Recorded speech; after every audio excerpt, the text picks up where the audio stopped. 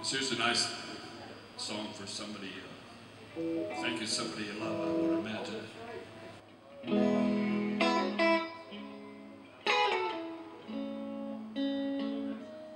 Thank you.